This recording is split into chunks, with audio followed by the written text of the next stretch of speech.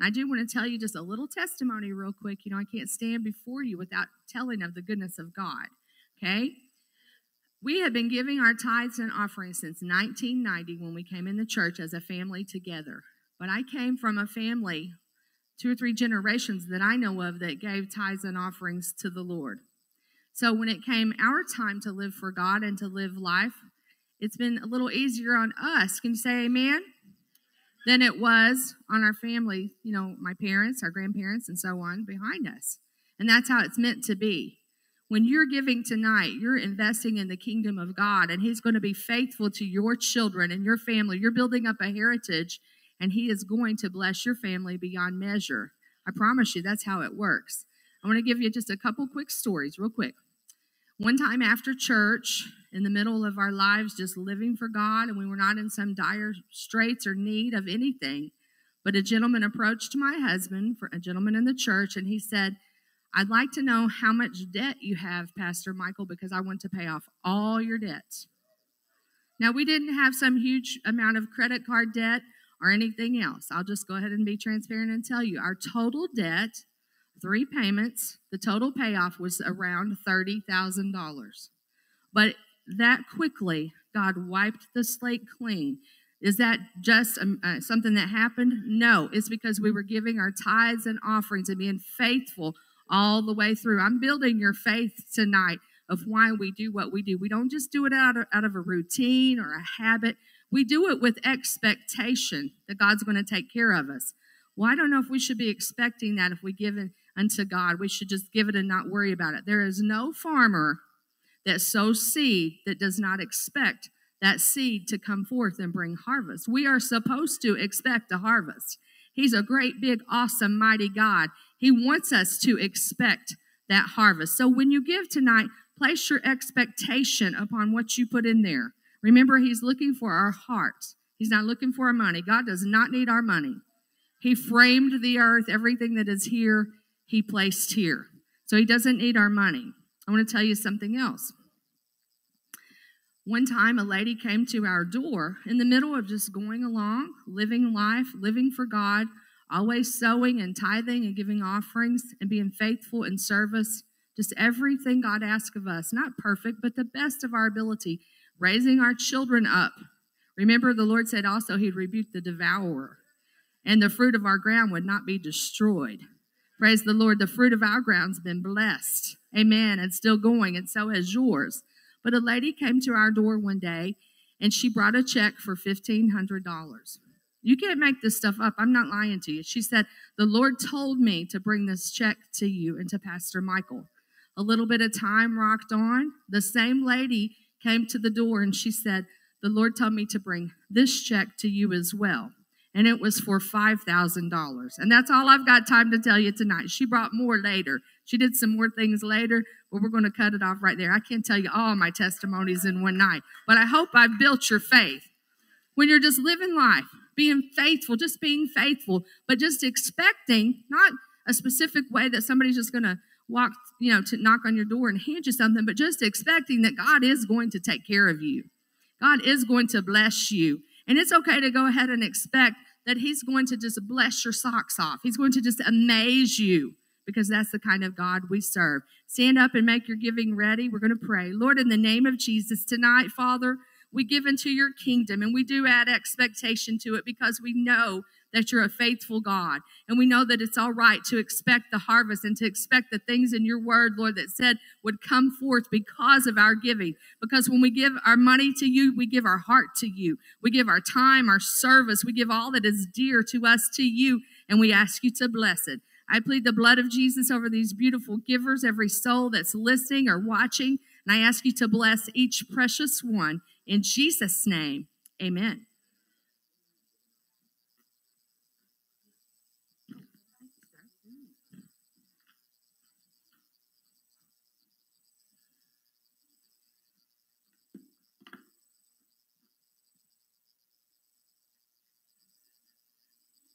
Hey, what's your name? Michael? Yeah. Hey, why don't you set that little girl down there so she can listen to me? I have something I think that's going to change her life and yours as well. Amen? Oh, okay. Good. Yeah. Perfect. Perfect. Yeah. You know what time it is? It's time to flip the script on the devil. Huh? You know what time it is? That's it. It's time to flip the script on the devil.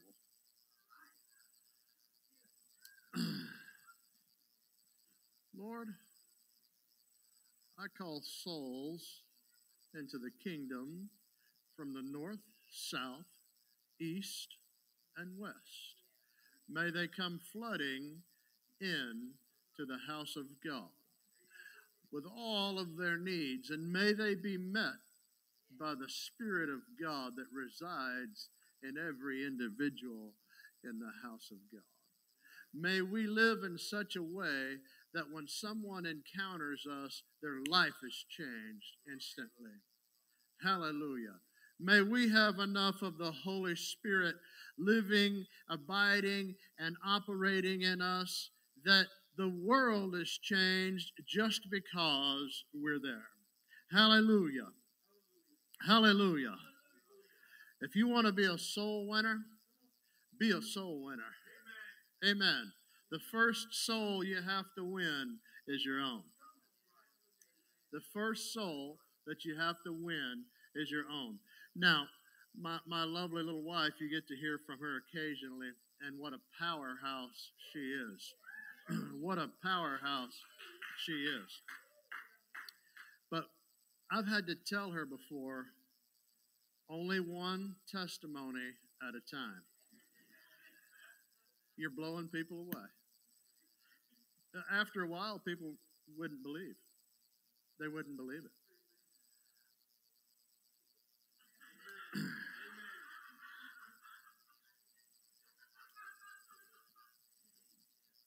Only one testimony at a time because people wouldn't believe. But I'm here to tell you God's promises is, are this if you do, I will. You see, you do what you can do in the natural, and He adds the super. Yeah. You do what you can do in the natural, and He will add the super. Amen. Amen. All this is free today. All this is free. I don't have any notes for this. Hallelujah. Hallelujah. So, the song that we opened up with, Let Me Tell You About My Jesus, that is how you're a witness. And that's why I brought my wife up. when it becomes personal to you, you can't help but overflow on others.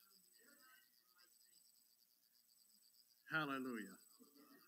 We oftentimes become disconcerted with trying to win souls and witness to people because we are ourselves empty.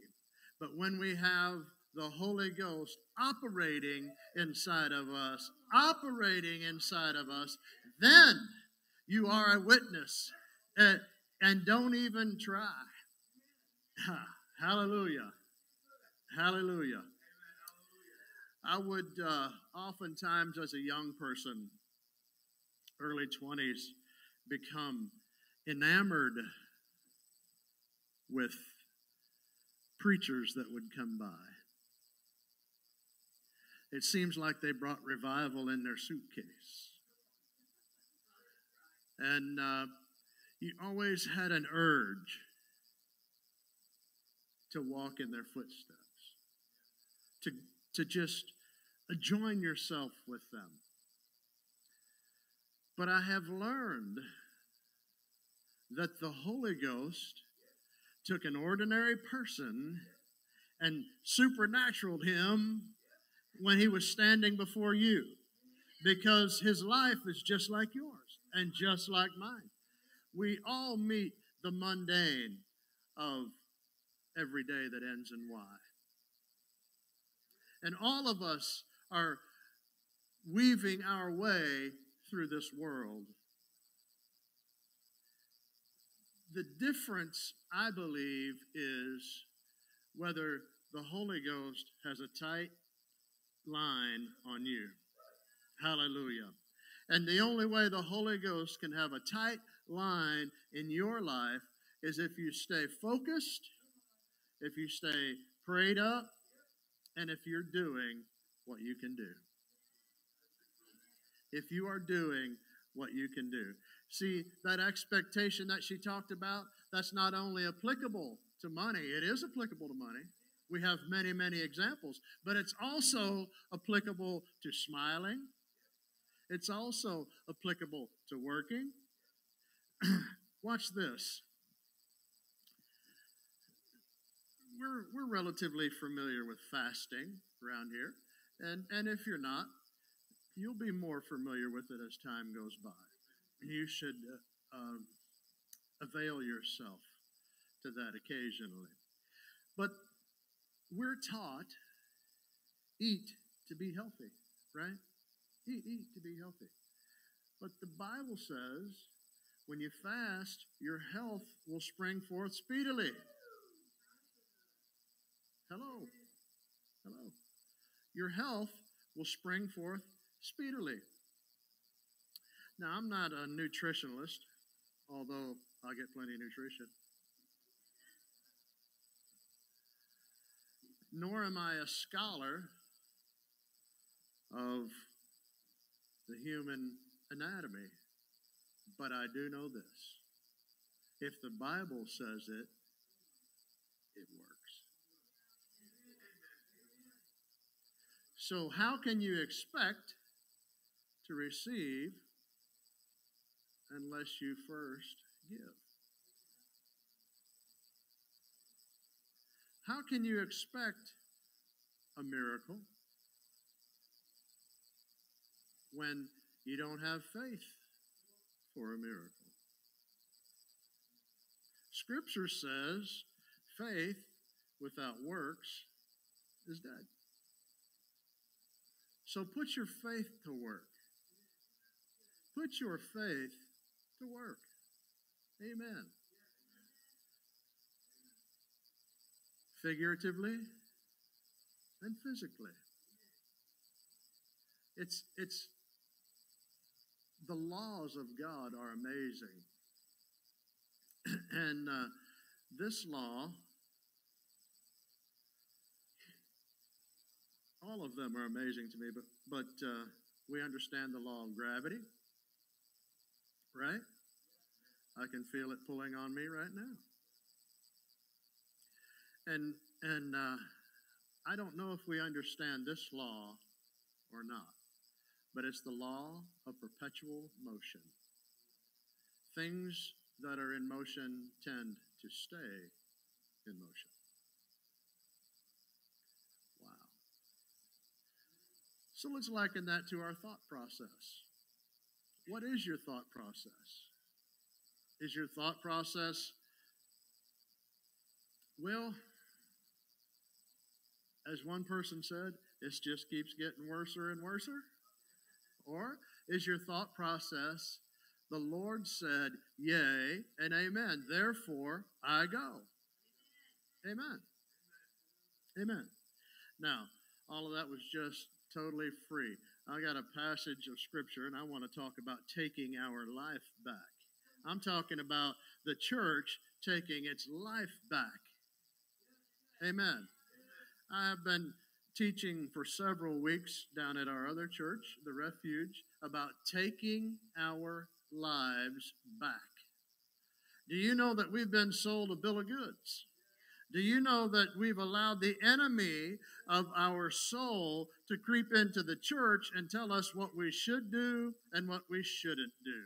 That tell us how we should act and how we shouldn't act. I'm here to tell you that the laws of God are yea and amen. They should be practiced, they should be pushed, and they should be adhered to 100%. Hallelujah. Before you ever adhere to a law of man, or let alone an attitude or a personality or a thought process of a man, you should first concern yourself with the things that the Lord says. Amen. Following his pattern for life is not difficult. It just takes some thought. It just takes some prayer. And it just takes some study. Amen. Uh, you know what I love about the Lord? He's so principled. I love principle. Uh, I have often been asked in my life, my wife just uh, discovered and informed me that I'm eccentric. This whole time, I was thinking I was the standard for normal. The whole time. no, not really. First Chronicles 28 and 20. I'll finish that thought maybe sometime.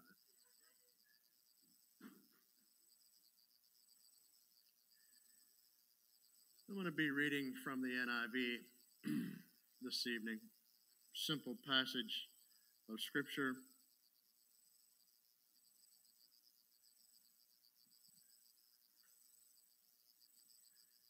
First Chronicles 28 and 20. And David said to Solomon, his son, Be strong and of good courage, and do it. Be strong and of good courage, and do it. Fear not, nor be dismayed, for the Lord God, even my God, will be with thee. He will not fail thee, nor forsake thee until thou hast finished all the work for the service of the house of God. Amen. Be strong and of good courage and do the work.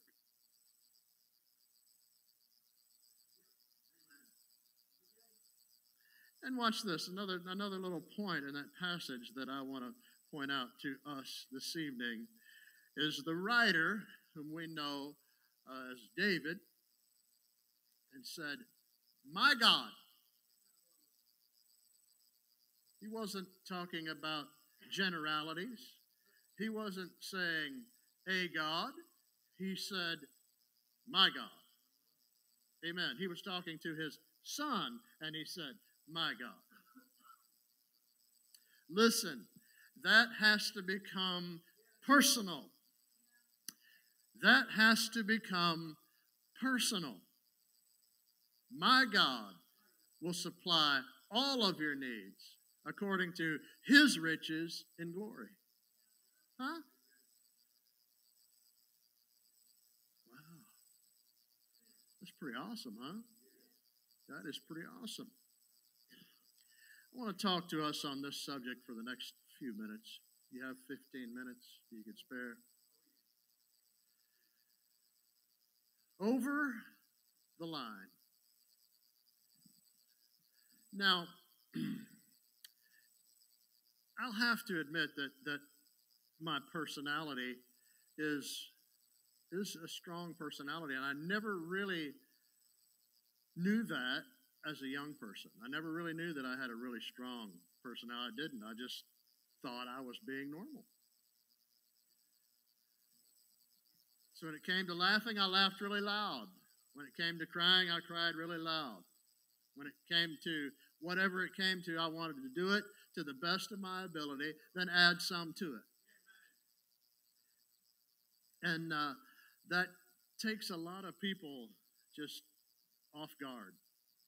Bad. It really messes with a lot of people who are timid. And I, I didn't know that. I, I mean, I had really had no idea. I thought I was normal and everyone else was kind of weird. I had a I had a lady, a precious lady, one time, uh, come into my office and she said, "I said, well, you know, why hadn't you come prior to now to talk about this. And she said, Well, I'm scared of you. I said, Oh, well, what scares you so? Because I'm not mean. You know, I'm not hateful. I just, I, I don't know. I guess it was my personality. I don't know. But I do know this I would always look for the line and then step over.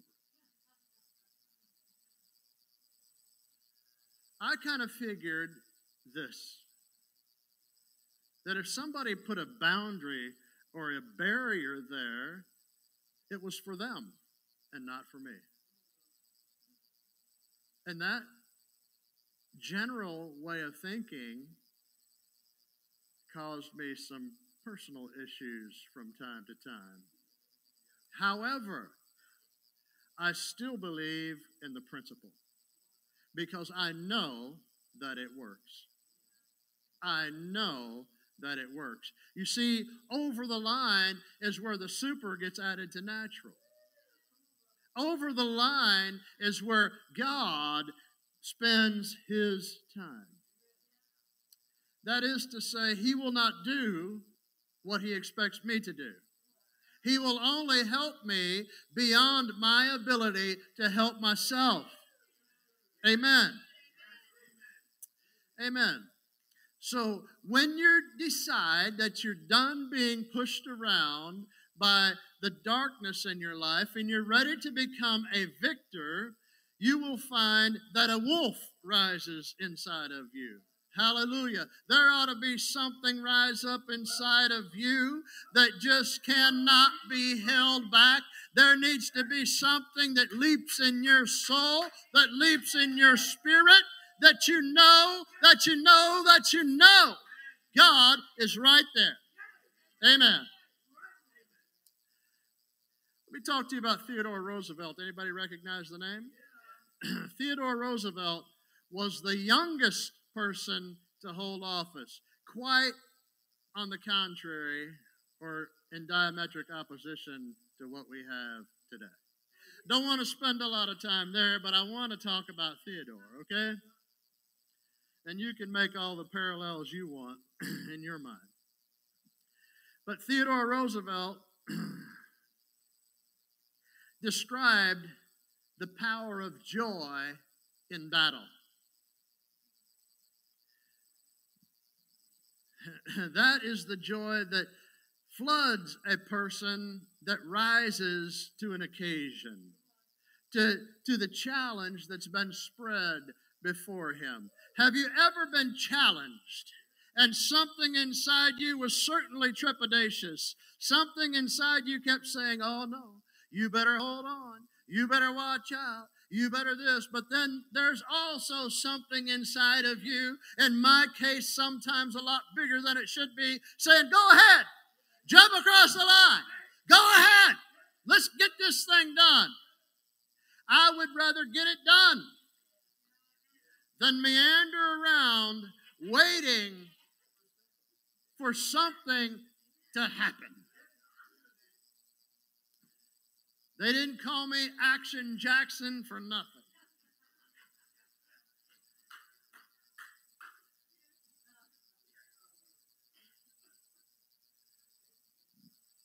Listen, why is it? I believe it is the fire of God in my spirit. I am not afraid to step out and say, Hey, thus saith the Lord. You know why? Because He said, I have been, you have been, and I have been sent in the name of the Lord. Do you understand what that means? Do you understand what you being sent in the name of the Lord actually means? When His name was applied to your life, all the power that God operates in was applied to your life. Hallelujah. Therefore, there ought to be somebody ready to step across the line. Hallelujah. Hallelujah. this larger than life president, Theodore Roosevelt,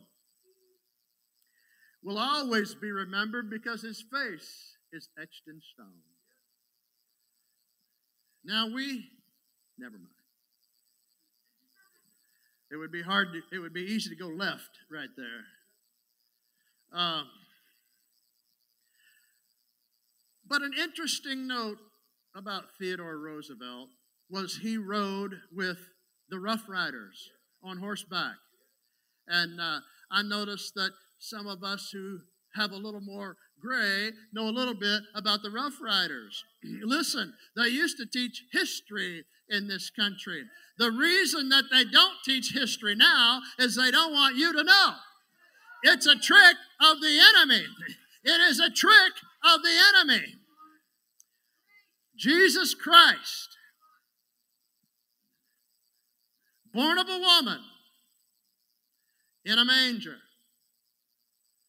rose.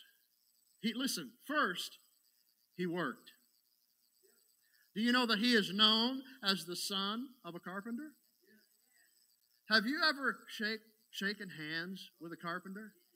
They have the roughest hands. They are calloused and they are hard people. Their muscles are strong and tough, and they they are, for the most part, very matter of fact people.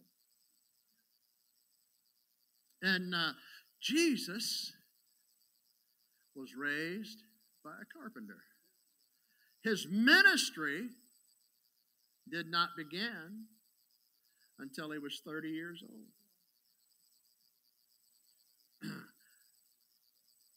this is a free side note.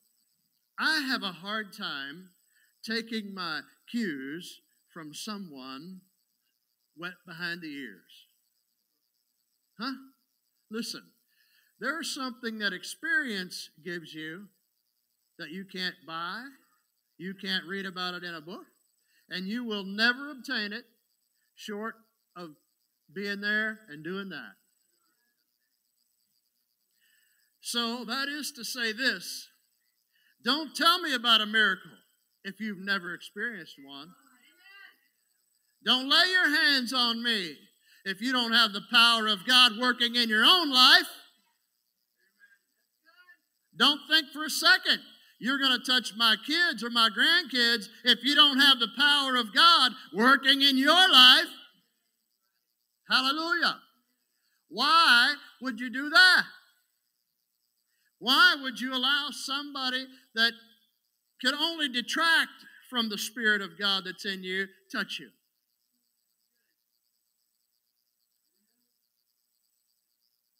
We should join ourselves with people of like precious faith. We should join ourselves with people who say, Give me my mountain. We should join ourselves with people who say, God is able to do exceeding abundantly above all that we can ask or think. Hallelujah. You have to be the guy to be willing to go over the line. Hallelujah. So, the Rough Riders on horseback, can you imagine? The youngest president to ever serve this country, Theodore Roosevelt, riding horseback into the Battle of San Juan Hill during the Spanish American War. Hallelujah. Machine gun bullets sprayed out from the top of the mountain, cutting down man after man after man. Yet Teddy Roosevelt fought on, relentlessly urging his men to move forward. You know how to get run over? Possum, stop in the highway.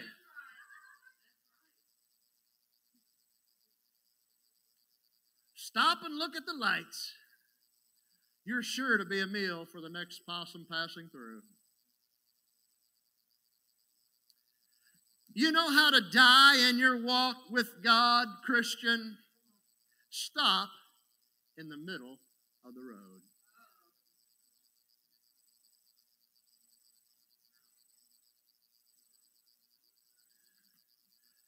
And it goes kind of like this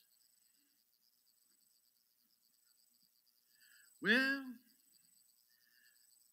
I tried that before. Stop, er, so much, smash. Well, I don't know. Boom.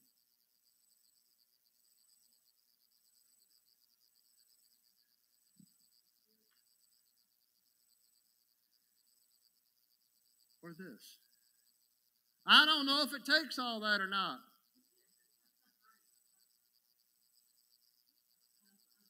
Might as well shovel you up right now. Why would someone not want what God has? The scripture says he is the giver of every good gift. Every good gift comes from God. So we could equally, if we wanted to go that direction, figure out where all those other ones come from.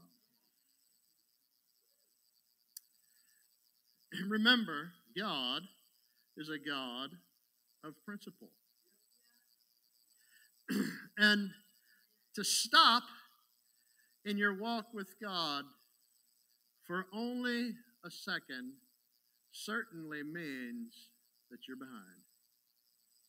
At best. At best. The best thing you can hope for is that you can get back in the race. But you'll certainly be behind where you could have and should have been. So let me move on. In that terrible situation, Roosevelt crossed a barbed wire fence that lay across the battlefield. That was the moment.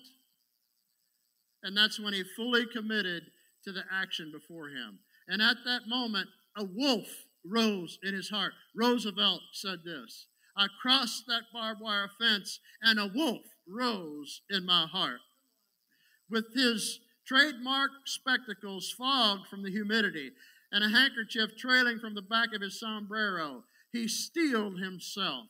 He gave no thought to the bullets flying around him, and he urged forward his horse, Little Texas.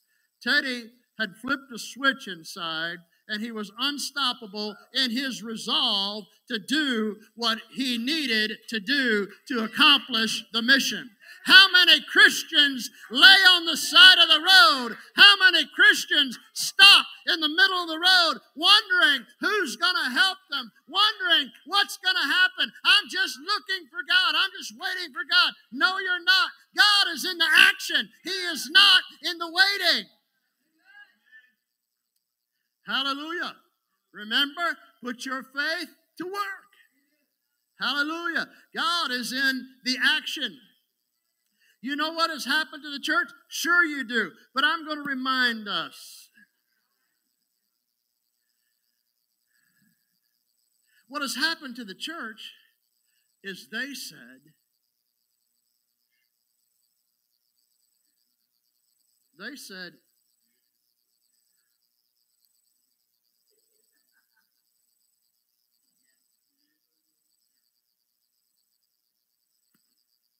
Easy now. You know, uh, you know, brother so and so, he did this, and, and they said that that guy was fake, and blah, blah, blah, blah, blah, blah, blah. Listen, the Bible says, touch not my anointed, and do my prophets no harm. So if there is an old brother somewhere doing something that may or may not be right, Quite frankly, it's none of our business. Because God has a way of working things out.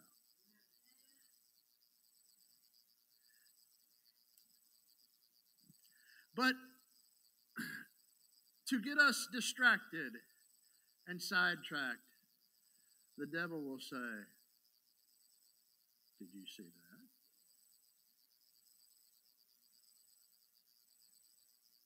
What about that? They love to talk about this guy in uh, Houston, the largest church in the world. Listen, honey, he's got to be doing something right. He's pointing people toward Jesus Christ. So he and I have something in common, right? He and I have something in common because my pointer, I don't know the answer, but I know the answer.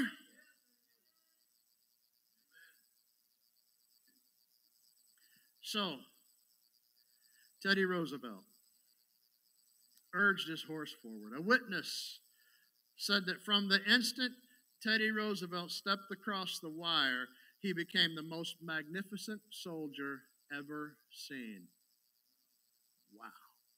That's the type of guy that needs to be running this country. Yeah, in God we trust, huh? In God we trust. Listen, let me digress for one moment and talk about his horse, Little Texas. He called him Little Texas. Well, listen here. Here's how God works He puts things together as you're going. As you're going, He's putting things together. God brought Little Texas into Teddy Roosevelt's life. He probably was a very tough horse. He probably had the same kind of tenacity that Teddy Roosevelt had. Listen, there's only one way that you're going to get through this thing, honey, and that's just keep on going.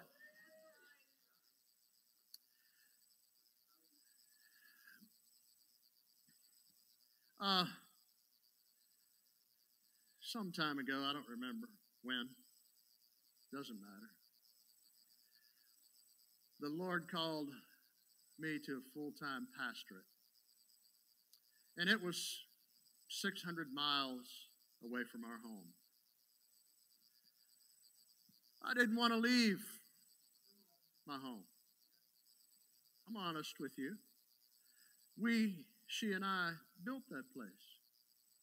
We would save our money after working all week and save our money and save our money for months at a time, and then we go buy an item and put up in that house. It took us five years to build that house, and it's still not finished. We would save, buy, build.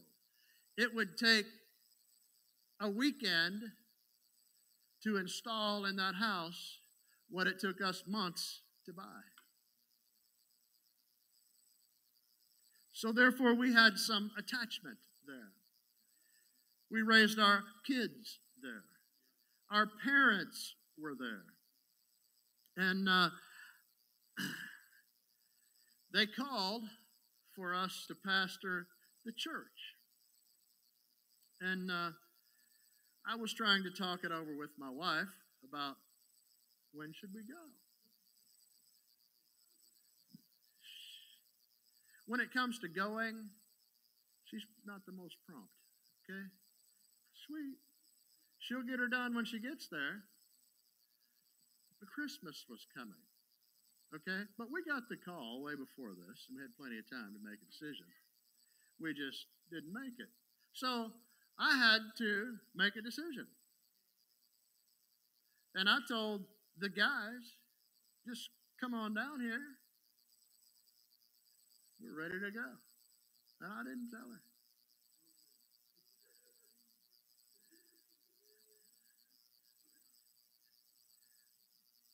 Listen.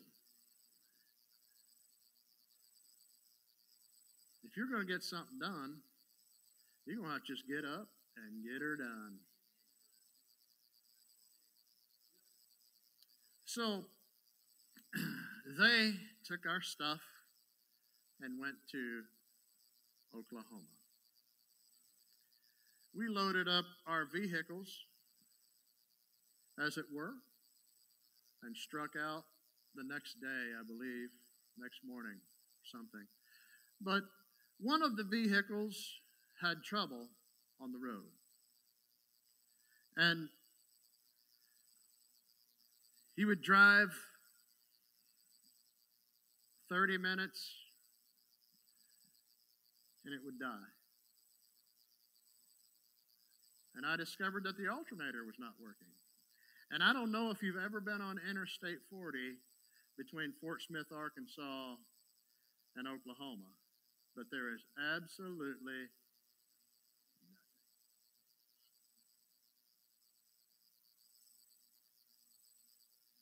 Sunday morning was the next morning. And we were out there Saturday night with a car that wouldn't run. And had my mother in law. And my wife, bless her heart, she has a keen eye for the obvious. And her question was this What are we going to do?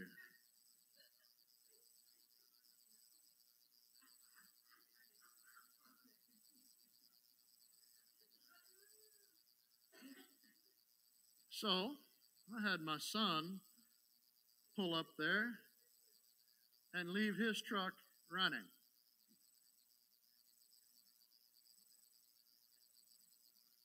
Arise and be healed.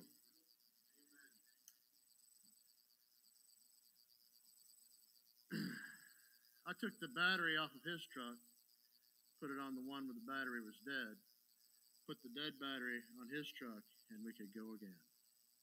And it was pouring down rain in the middle of the night. I didn't know anything else, but I knew this. We were going to Oklahoma, and I was going to preach in the morning. And I was not going to take no for an answer.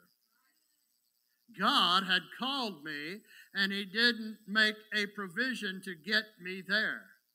He gave me the good sense to do what I could do, and then He could do the rest.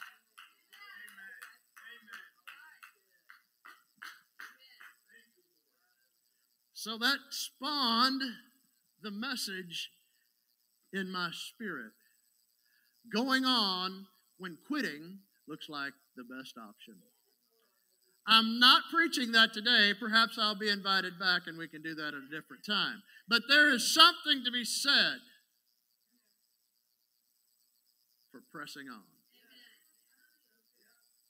Pressing on. and uh, I did not know what we were going to do.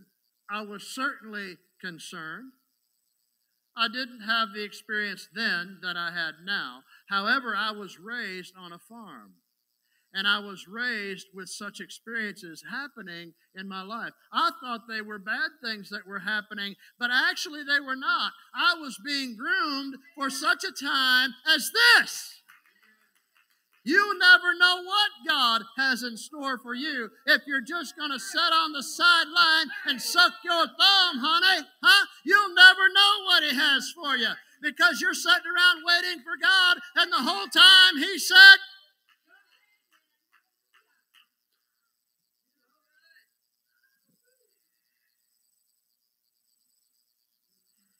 Huh. That switch needs to flip inside of you. That wolf needs to rise inside of you, and you need to become a tenacious follower of Jesus Christ. I didn't know where I was other than Interstate 40 in nowhere, Oklahoma.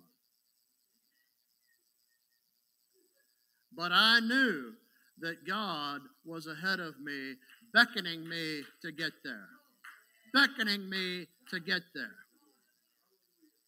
And I knew that people had faith in me. I knew that they were waiting for me. I knew that they had an expectation of me. I was not going to sit passively by on the side of the road somewhere waiting for something to happen.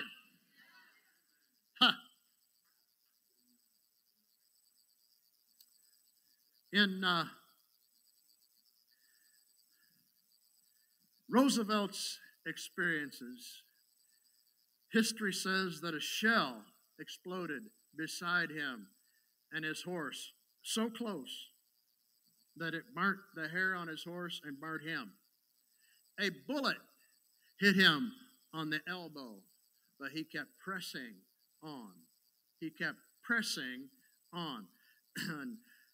He didn't stop until the battle was won. For the rest of his life, he referred to that day, July the 1st, 1898, as the greatest day of his life. Listen, how you look at things matters. You know, most of us describing that day would say, I need a check. Get the government to give me a check. I have PTSD. Now, listen, anybody who has served this country in war, I certainly love, honor, respect, and want to take care of them. Amen. Amen. Amen. But this Christians sitting around looking for a handout from somebody that's not God, you are wasting your time. Roosevelt said it was the greatest day of his life. We would say if this happened, oh, it was the worst day of my life. I was out there on that battlefield, stuff was blowing up everywhere. And, you know, little Texas man, he got all burned up on his side, and you would burn the hair right off of my arm. And then a bullet came.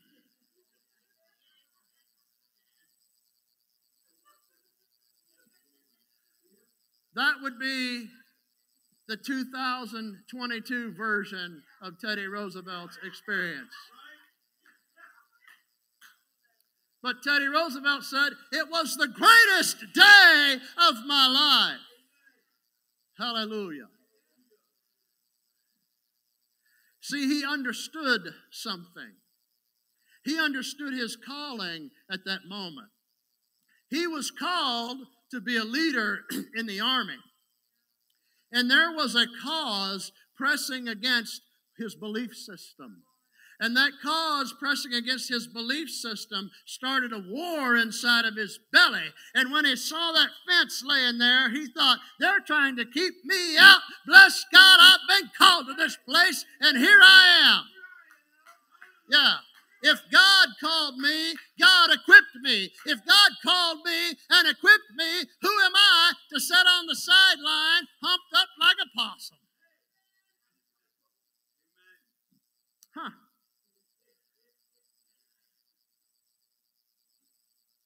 Who am I to go against the calling of God?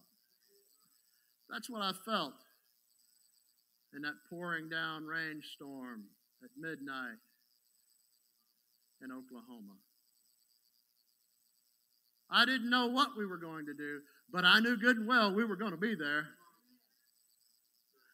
I knew we were going to be there.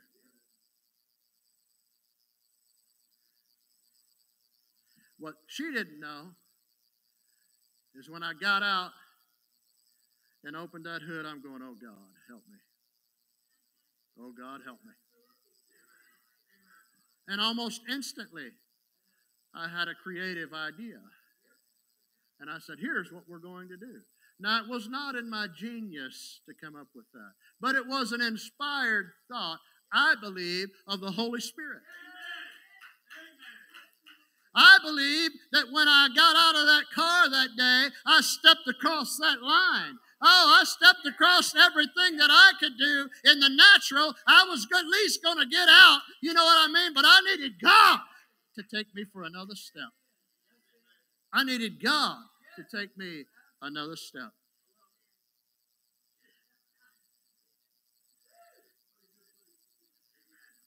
Huh.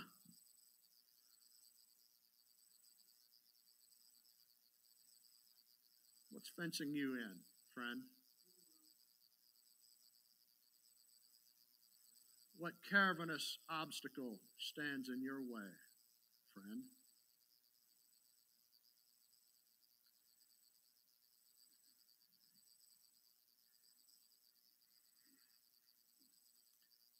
Pause. Let's put your pause button. You see that? Pause. Teach these guys some etiquette in your class. Yeah, etiquette.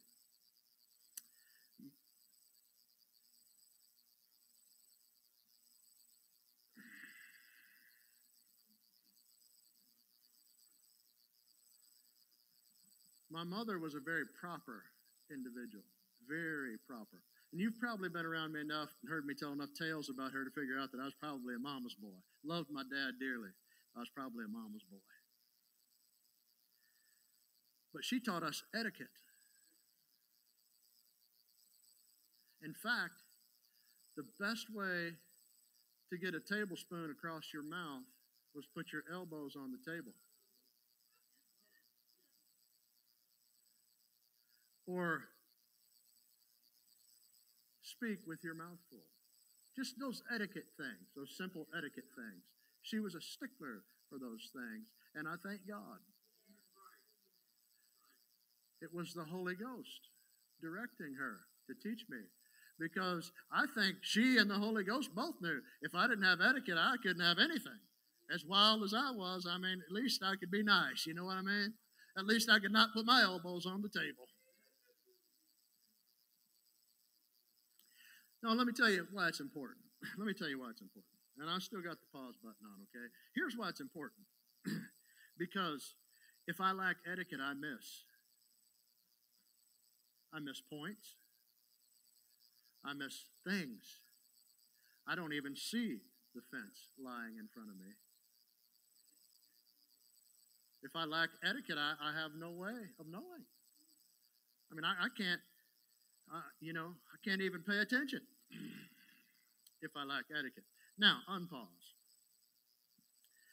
There is an incredible power sitting inside every one of us. There is an incredible force inside of every one of us. And that force propels us in a singular direction. Often we take the propulsion of the Holy Ghost and we can get sidetracked pretty easy and head off in another direction. And the propulsion from the Holy Spirit might carry us away, but pretty soon we lose our way and begin to falter. Teddy Roosevelt pointed little Texas toward the top of the hill, and he didn't stop. He didn't turn left. He didn't say, I think they're firing less over there, and there may be some less mortars over there. He said, Right there is where God called me to, and that is where I'm going. Amen. He was fighting for a cause. Do you know the fight, the Christian fight that we are called to fight? Is not against our neighbors, although some of them deserve it. In fact, beg you for it. It's not against our spouse, although sometimes we don't see eye to eye. It's not against our kids, although we should grab them by the ear.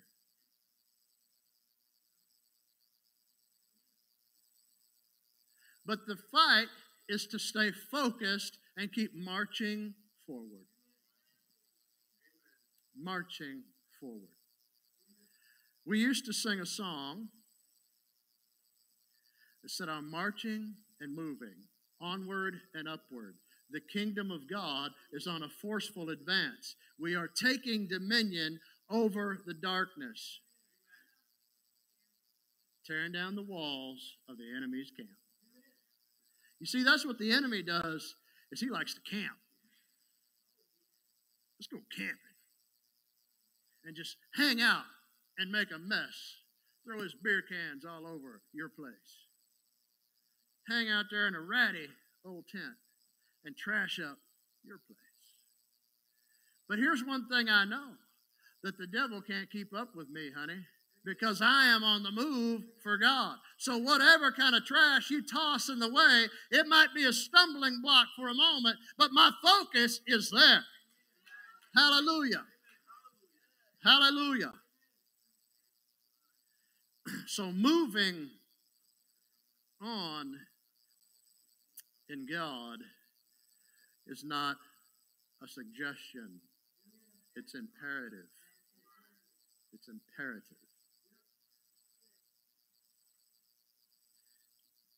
Now, I'm going to digress because I just left us hanging a moment ago.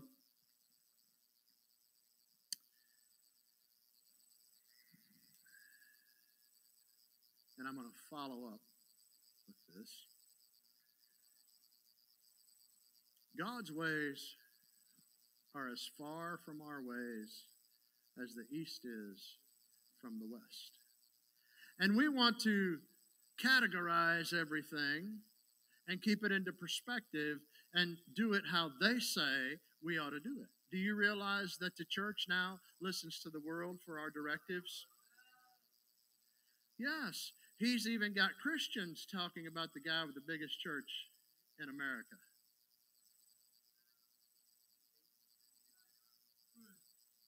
Listen to this.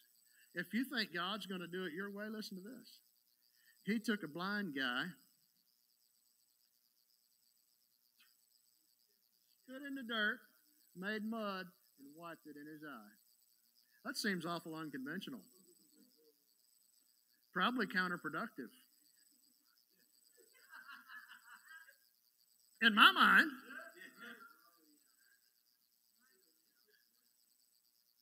So listen. If that guy down there is pointing people toward Calvary and having such success, perhaps I should look. And I mean, I'm, well, I'm not just talking about that. I'm talking about in general. We have allowed the spirit of the world to convince us how we ought to act in church.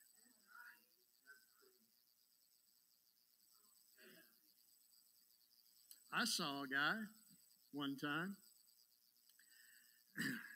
Traditional churches and churches several years ago, all of them used to have a table that sat in front.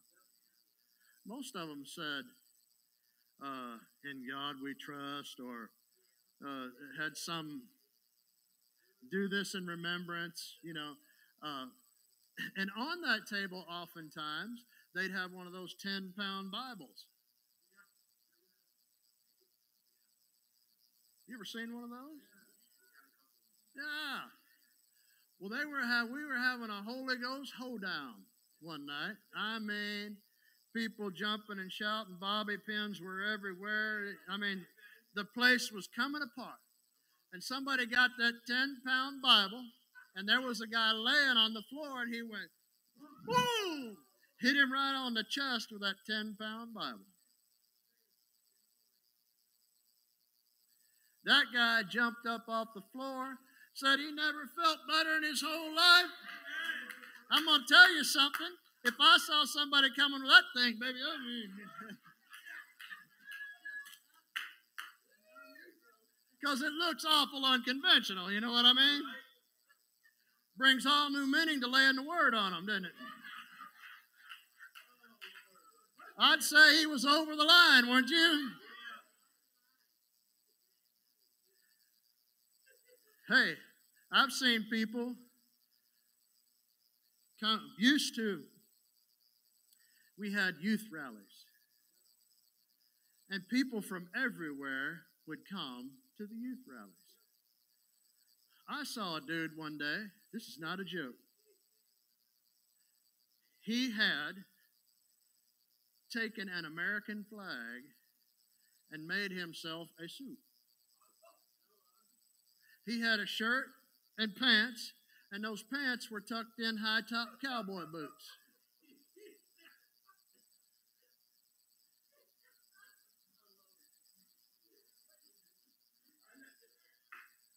Maybe your brother from another mother, huh?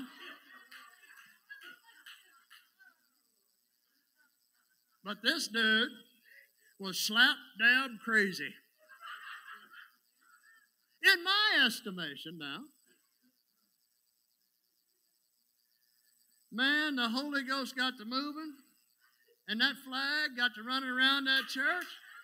I'm telling you what, buddy, I didn't know whether to sing the Star Spangled Banner or to start running with him. You know what I mean? Oh, say, can you see? That dude made about three laps around there.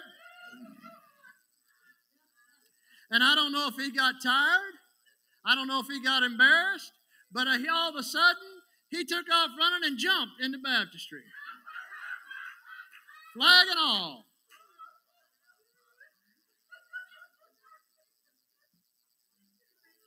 And then here comes some other cornball down the middle row doing somersaults.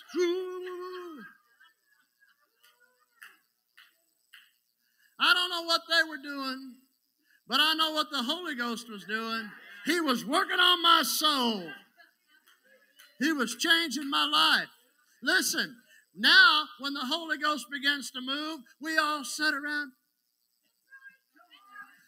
all pious. You know what? Bring me some flag boys in here, huh? Bring me some Somersets in here.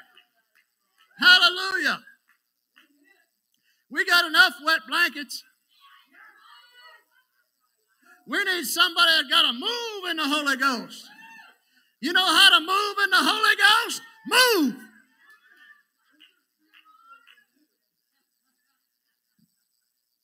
You know how you don't move in the Holy Ghost?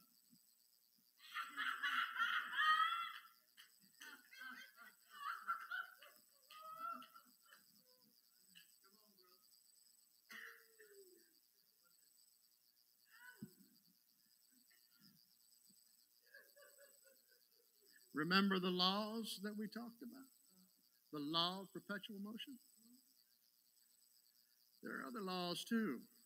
It's a law of lethargy. Sleep begets sleep. You ever notice somebody that's really sleepy? They sleep all the time. Doc, I'm going to tell you what. When about 5 o'clock hits in the morning, I'm awake. And if I don't get up, my legs start cramping. I got to get up and start moving. I got to get up and start moving.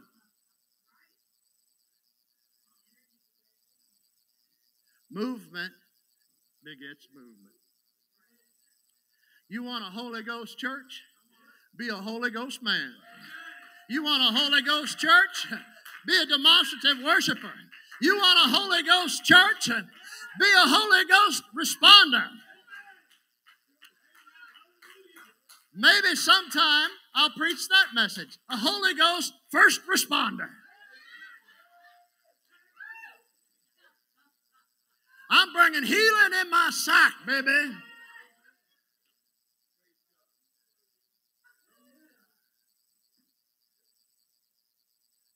Well, what would they think? Well, I don't know.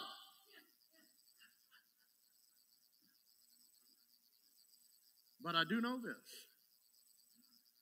There have been more miraculous things happen to me in a Holy Ghost hoedown than there ever has been than there ever has been in a traditional sit there and listen to me.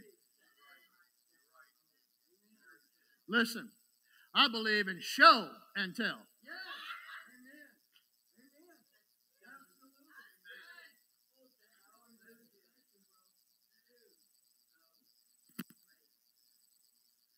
Do you know they don't do show and tell anymore? They just do squall and yell. Oh, what's wrong? I don't know. Give them some medicine. Give them a job. Have them pick something up. You know what we had to do? Listen to this. Here was school in 1969. We didn't have backpacks. We had cigar boxes with pencils and crayons in them, glue. And we took that in there in the school. We marched to our own little cubby in the closet. We hung up our own coat. We went to our own desk that had our name on it. We put our paste out in the little hole for the paste. We put the pencils in the little slot for the pencils, and we put the box right in the desk. And we sat there waiting for the next instruction. You want to see school 2022?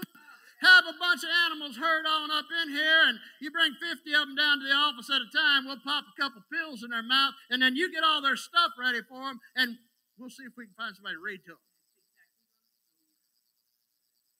Listen, Doc, I ain't gonna get it. So, therefore, we take that approach in church. Well, come on, preacher. Let's see what you got. Why we are like the rock of Gibraltar. I shall not be, I shall not be moved. I shall not be, I shall not be moved.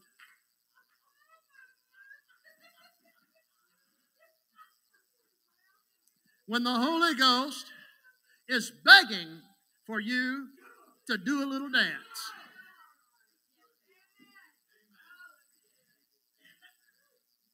He saved my soul from a burning hell. Yes, he did. Yes, he did. Oh, yes, he did.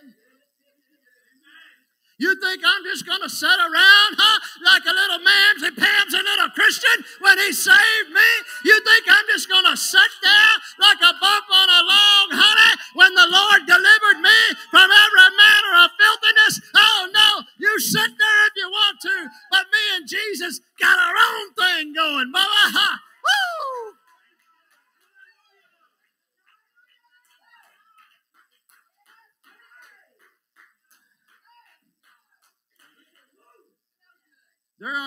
Areas in my Christian walk wherein I am weak.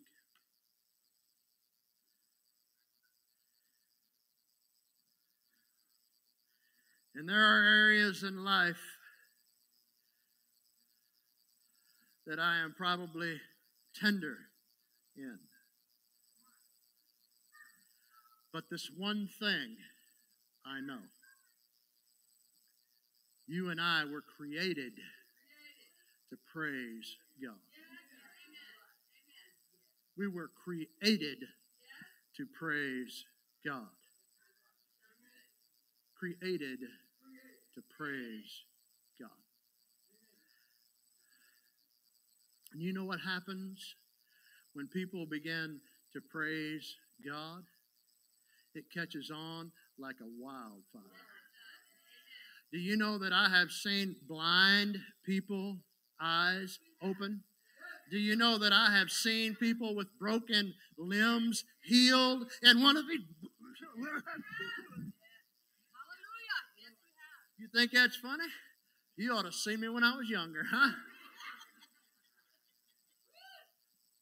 I refuse to sit passively by on my side of the line and wait. No. No, I'm going to get right on out there amongst them. Step right over the line and say, Here I am, Jesus. Here I am, Jesus. Here I am, Jesus. Here I am, Jesus. Here I am, Jesus. Yeah. Yeah. You know, the best defense against the enemy in your life is a very good offense.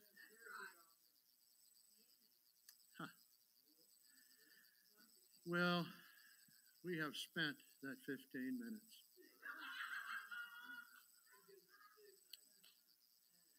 I'm not done, but I will quit.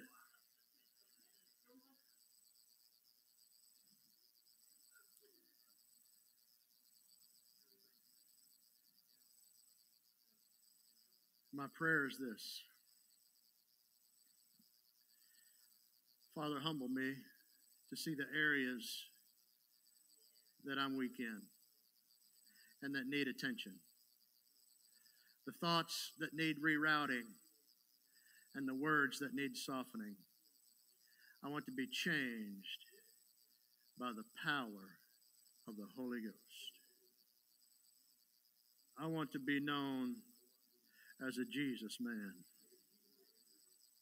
One of the greatest compliments I've ever heard given to my dear brother Ray was this he's crazy.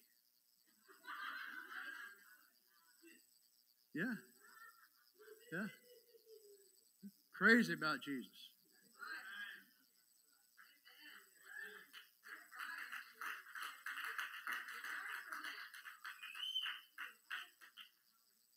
Yeah. Yeah. So, you know what time it is, church? Time to start taking your life back.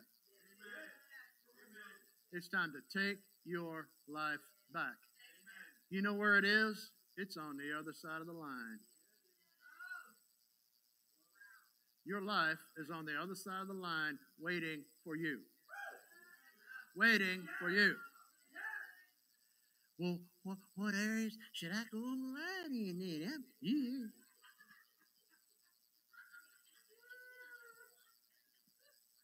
You think I just march over and tell my neighbors off? Well, wrong line.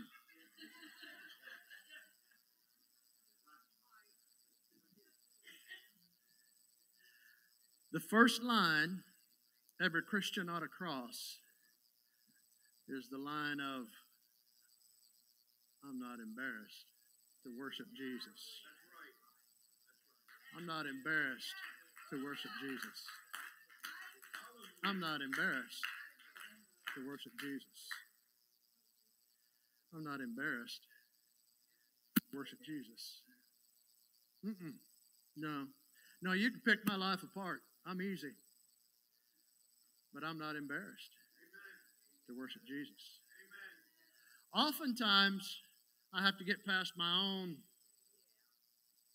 stinking thinking.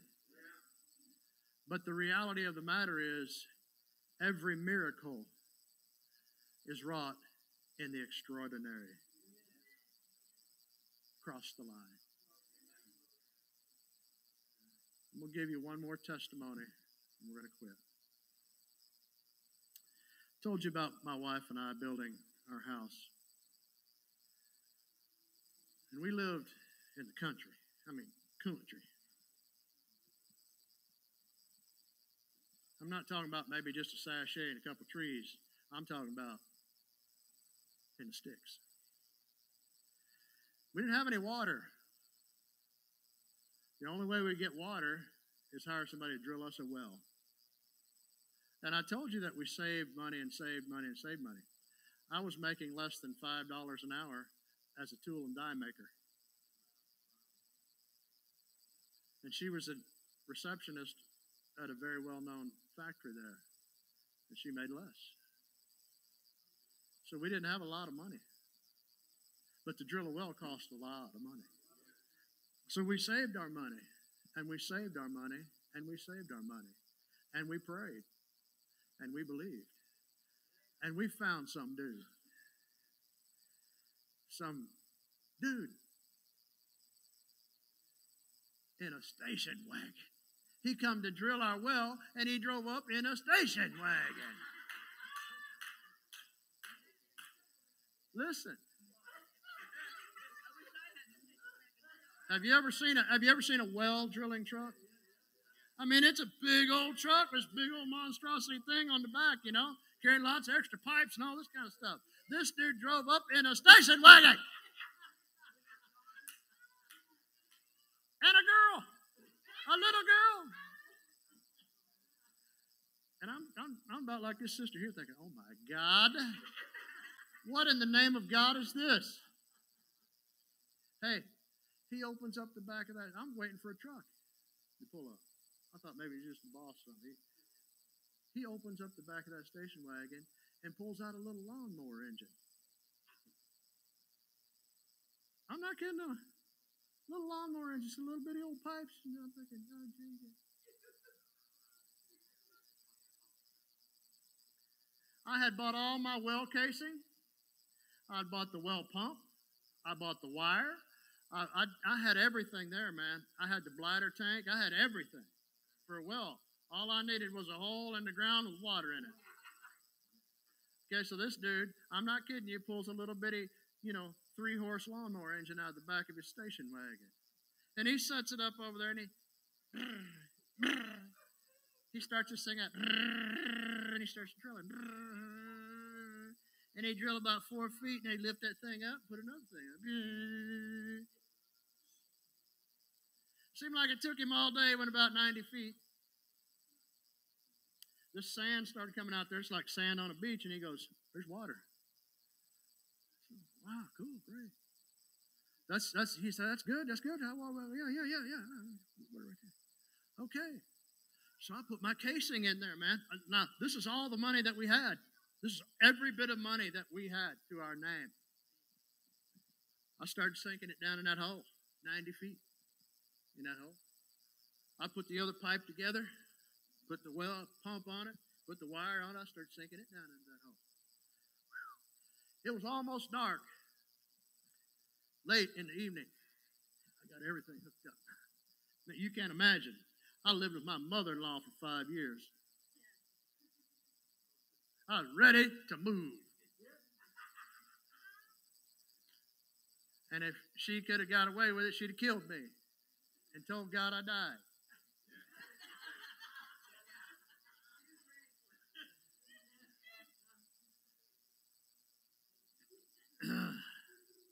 So we sink all that down in this well. My dad was there, my wife was there, my sons were there, this man in his station wagon, his daughter.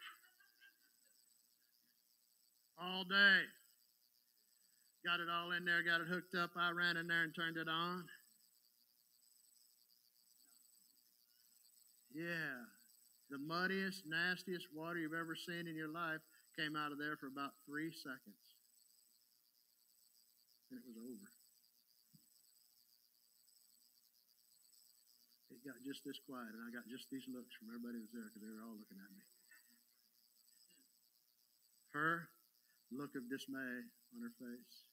I'm sure I looked like I'd been slapped in the face with a wet pickle. My sons were there. My father was there. Speechless. We tried getting the casing out, couldn't get it out. All of my money stuck in a dry hole in the ground. I told my wife, I said, take the boys, go. Help that guy load up his stuff. My dad went home. I walked around behind the house. I don't know why I walked behind the house, but I walked behind the house because I was afraid somebody's going to see me, you know, 100 miles out in the country. Nobody.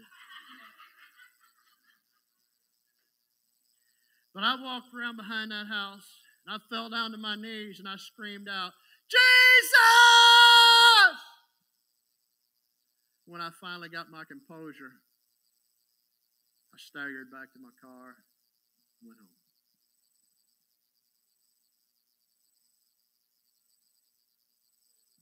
We talked about it all week. You know, what we're going to do. The, the thing that was keeping us from moving into our house, we didn't have any water. Didn't have any water. We didn't have any money. And uh, something said to me one afternoon after work. I went out there, just kind of walking around, just kind of walking, just kind of bumfuzzled, just walking around. Something said to me, try the well. I went in and turned that thing on, brother. I want you to know I raised my kids there. We filled up swimming pools. They played in the sprinkler. We did everything that a person would need to do and never ran out of water. It was the sweetest, best water you ever drank in your life. Came out of a dry hole in the ground. One thing I never did was lose my step.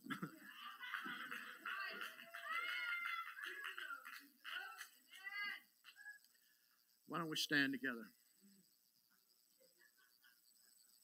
Let me tell us something, church. I'm going I'm to preach my whole message in about one sentence right here. Go ahead and bust a move. Go ahead and cross the line. And expect Jesus Christ to meet you there. Expect Him to meet you there. Listen, the God that I'm talking about heals blinded eyes. The God that I'm talking about, hope.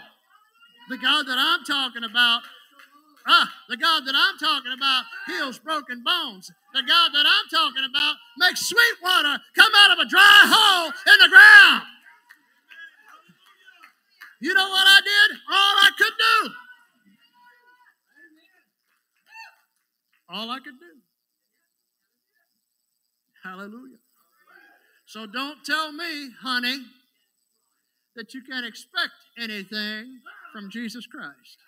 You know what I expect from Jesus Christ? A miracle. In fact, my Bible says that miracles, signs, and wonders will follow them that believe. Huh? Ha, ha.